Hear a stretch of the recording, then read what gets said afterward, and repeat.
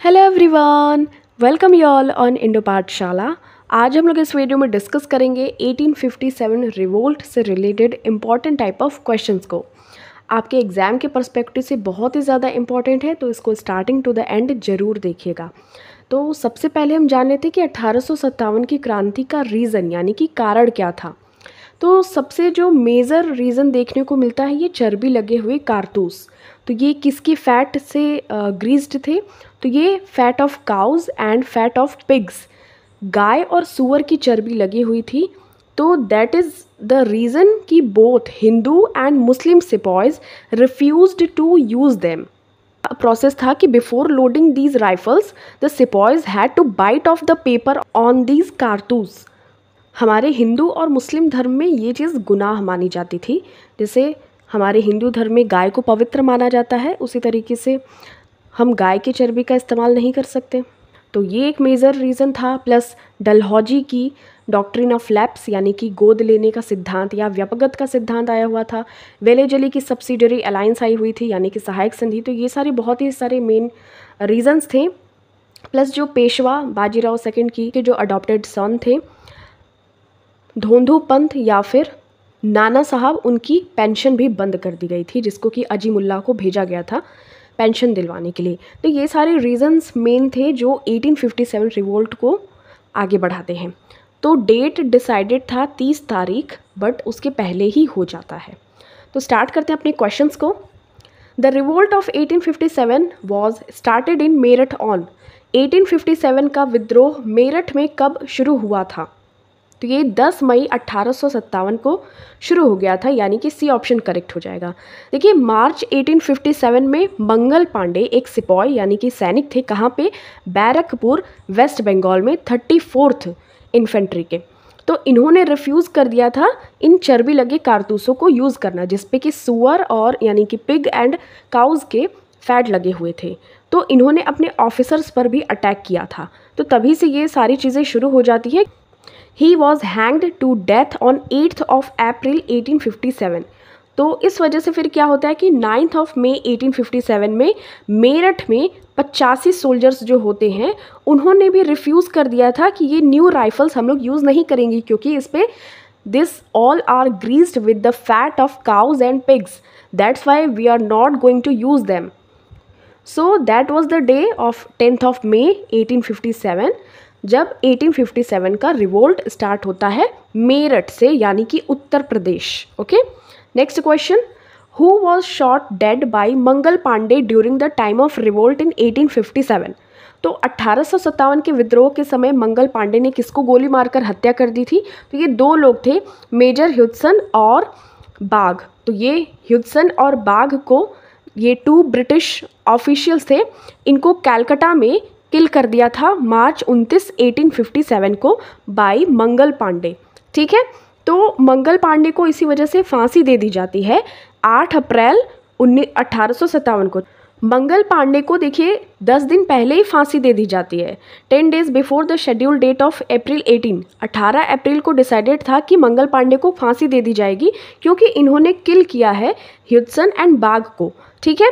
But इतनी ज़्यादा Indian मास थी उस टाइम पे तो वो लोग सोच रहे थे कहीं मंगल पांडे को बचा ना लिया जाए तो वो दस दिन पहले ही आठ अप्रैल को अट्ठारह को फांसी दे देते हैं मंगल पांडे को। ठीक है next question which regiment was Mangal Pandey in 1857 Mangal Pandey thirty fourth Bengal infantry regiment से रिलेटेड थे। तो ये मोस्ट इंपॉर्टेंट क्वेश्चन है थर्टी फोर्थ नंबर का है, ध्यान में रखना है आपको। और ये मंगल पांडे के एक स्लोगन भी दिया था इन्होंने, नारा था इनका, मारो फिरंगी को। फिरंगी दैट मीन्स ये अंग्रेज़। और इनके बारे में इंपॉर्टेंट फैक्ट है, देखिए, मंगल पांडे का बर्थ प्लेस उत्तर प्रदेश बलिया में स्थित है। और बलिया बॉर्डर एरिया है, कहाँ का? यूपी एंड बिहार का। और इंडियन गवर्नमेंट ने इश्यू किया था एक stamp to commemorate him in 1984 ध्यान रखिएगा, उनको याद करने के उद्देश्य से गवर्नमेंट ने इशू किया था एक स्टैम्प भी 1984 में with the name of Mangal Pandey next who was governor general during the revolt of 1857 अट्ठारह के विद्रोह के दौरान गवर्नर जनरल था वॉज़ कैनिंग ओके तो Canning was the first viceroy of India too तो ये ध्यान रखना है Canning was the first viceroy of India and the during the revolt of 1857 governor general of India was Canning okay next question Which one of the following commissions is associated with the army reorganization after the suppression of the revolt of 1857? निम्न में से कौन सा आयोग अठारह के दमन के बाद सैन्य पुनर्गठन से संबंधित है? तो पील कमीशन, ठीक है? पील कमीशन ध्यान में रखना है। तो this commission was headed by Jonathan Peel तो उन्हीं के नाम पे ये पील कमीशन है। And this Peel commission suggested reforms and the British government accepted these recommendations and re designed military forces तो ये था अट्ठारह की क्रांति के बाद, ओके? okay? तो ये पील कमीशन आपको ध्यान रखना है। This was associated with the army reorganisation after the suppression of the revolt of 1857 next who was the British PM during the revolt of 1857 अठारह के विद्रोह के समय ब्रिटिश प्रधानमंत्री पामस्टर्न थे। और क्वीन या क्राउन का शासन तो ये विक्टोरिया का शासन था। और 1857 के सिंबल्स की बात करें तो लोटस एंड ब्रेड था। कमल और चपाती, ठीक है? Bread next question who led the revolt of 1857 in the city of Lucknow अठारह की क्रांति का नेतृत्व लखनऊ में किसने किया था? तो बेगम हज़रत महल। और बात करें, देखिए, नाना साहब, ये अडॉप्टेड सॉन थे of Peshwa Bajirao second Bajirao second was the last Peshwa of Maratha. And if you talk about original name of Nana Sahib तो वॉज़ धोंदू पंत ठीक है धोंदू पंत एंड देखिए, जो तात्या टोपे हैं, इनका original name was Ramchandra Pandurang. But इनके साथ बहुत ही बुरी घटना होती है। नेपाल से जब ये आते हैं, उनको पकड़ लिया जाता है। और 18 अप्रैल 1859 को तात्या टोपे को शिवपुरी, मध्य प्रदेश में फांसी दे दी जाती है। हैंग्ड ठीक है? तो ध्यान रखना है आपको original name of Tatya Tope was Ramchandra Pandurang and original name of Nana Sahib was Dhondu Pant and Nana Sahib was the adopted son of Peshwa Bajirao second who led the revolt of 1857 in Bihar Jagdishpur तो ये 80 years के थे 80 साल के थे Kunwar Singh okay तो ये जो बिहार यानी कि जगदीशपुर में सप्रेशन किया गया था तो ये ब्रिटिश जो ऑफिसर था विलियम टेलर और आयर इन्होंने सप्रेस किया था। देखिए, एक और इंपॉर्टेंट है फैक्ट मिर्ज़ा गालिब एक उर्दू पोइट थे, इन्होंने अपनी आई विटनेस किया था ये 1857 रिवोल्ट को। तो ये भी कभी पूछ लिया जाता है, ध्यान रखना है। मिर्ज़ा गालिब उर्दू शायर थे और इन्होंने अट्ठारह की क्रांति को देखा था। अब देखिए, यहाँ पे लीडर्स एंड सपरेशन की बात की जा रही थी। जैसे जगदीशपुर में कुंवर सिंह ने लेड किया था। तो इसी तरीके से देखिए, दिल्ली में place of revolt is Delhi और इंडियन लीडर थे बहादुर शाह सेकंड या फिर बहादुर शाह जफ़र। तो ये लास्ट रूलर थे। इनको रंगून में भेज दिया जाता है ठीक है? तो देखिए बात करते हैं बहादुर शाह सेकंड फिर लास्ट में आते हैं बख्त खान। बख्त खान बरेली में भी आ, करते हैं लीडर रहते हैं वहाँ पे फिर वहाँ पे वो आ जाते हैं बहादुर शाह सेकंड के साथ में और वहाँ पे सैन्य अभियान को वो संचालित करते हैं बख्त खान और बहादुर शाह सेकंड थे दिल्ली में। और सप्रेस किया था ब्रिटिश ऑफिशियल्स ने तो वो जॉन निकोलसन थे फिर इसकी मृत्यु हो जाती है। फिर हडसन आ जाता है। ठीक है? ध्यान रखना है, दो थे और निकोलसन की डेथ हो जाती है। लखनऊ में बेगम हज़रत महल लीड करती हैं और यहाँ पे सप्रेशन करने आते हैं हेनरी लॉरेंस इसकी भी डेथ हो जाती है, फिर आता है कैंपेबल ओके कानपुर में नाना साहेब लेड करते हैं और कॉलिन कैंपेबल यही जो कैंपेबल है, देखिए, लखनऊ, कानपुर दोनों जगह हैं ओके लखनऊ, कानपुर, बरेली तीनों जगह पे है कैंपेबल झांसी और ग्वालियर में तो झांसी में तो महारानी लक्ष्मीबाई मणिकर्णिका और तात्या टोपे, ये सैन्य जो प्रशासन है, उसको देखते हैं।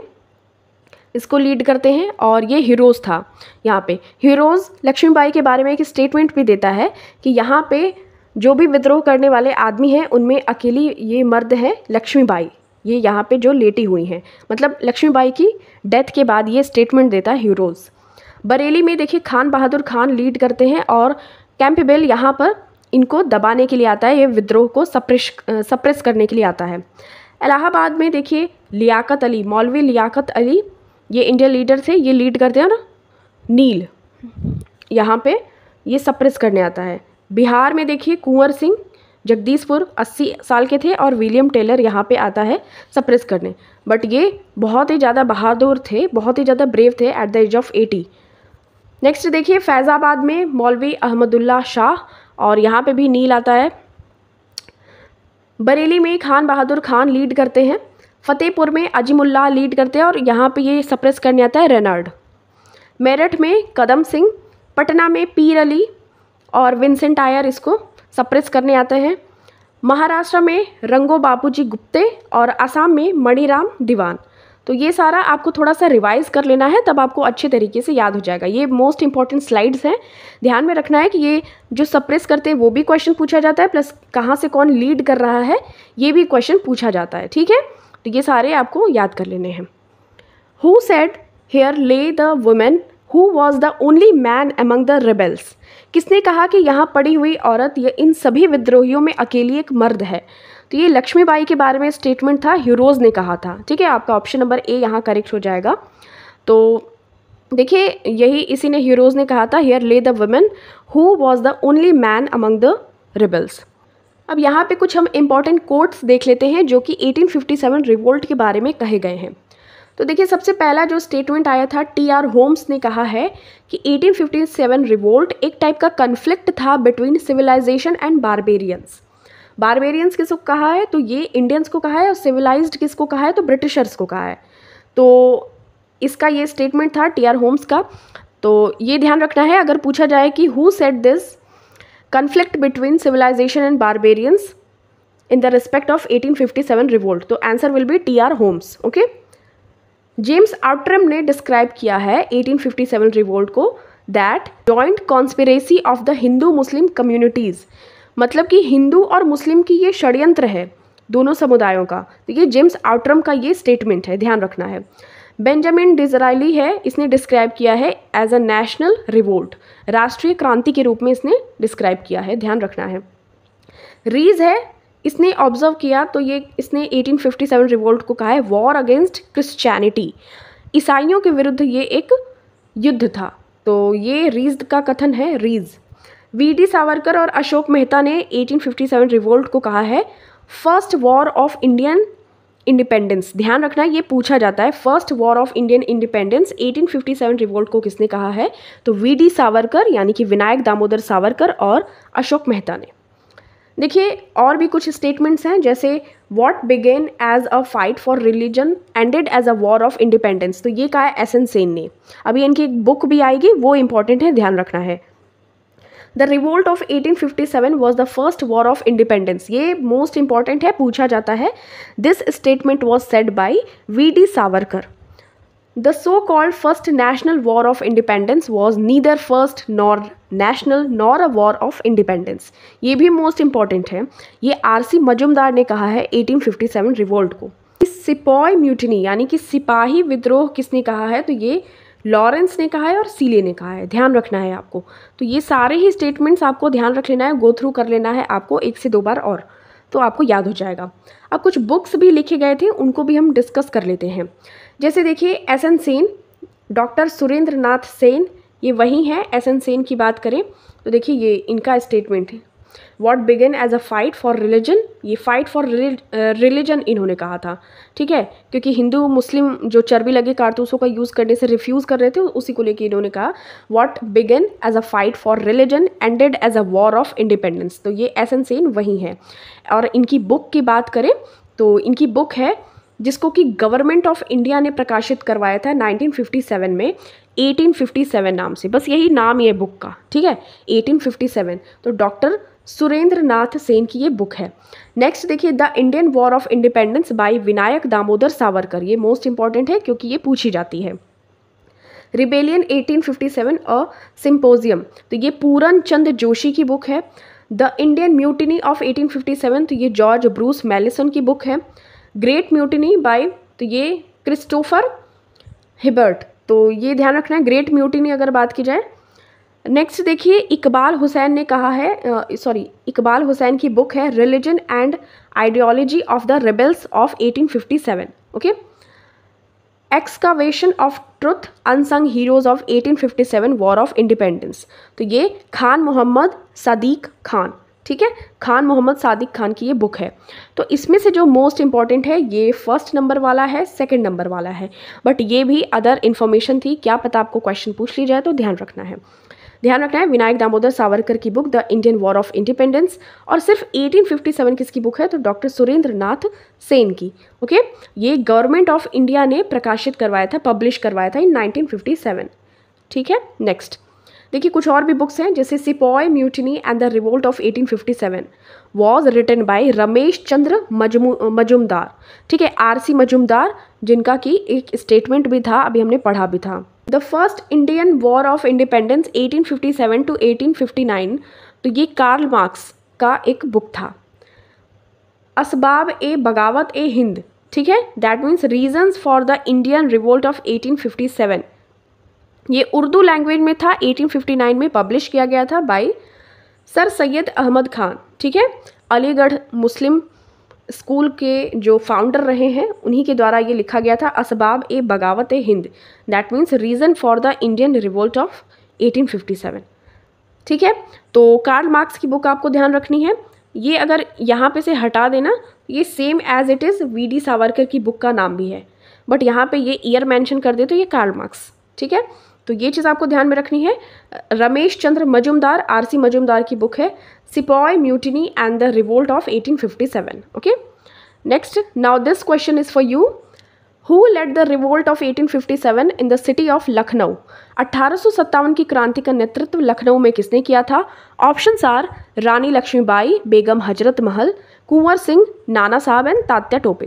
Thank you so much for watching this. मिलते हैं आपसे नेक्स्ट वीडियो में। टिल दिन, टेक केयर, अपना खूब सारा ख्याल रखिए।